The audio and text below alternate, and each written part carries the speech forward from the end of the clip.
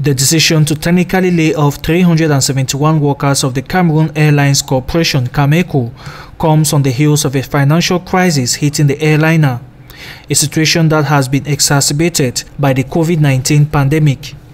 It is a response to a request from the Director General of the company urging the board chairperson Jean-Ernest Massinangale Bibehe to visa the laying off of non-essential staff accompanied by a monthly balance subsidy of 2 billion francs CFA in the event of continual operation during the COVID-19 pandemic. According to a decision signed by the company's Director General Louis Penji on the 19th of June 2020, the suspension of the said contracts renewable if necessary extends from June 22 to September 21, 2020 and cannot exceed six months. Though the board chair has okayed the laying off proposal, the monthly balance subsidy of 2 billion francs CFA has not been permitted due to ongoing budgetary reforms.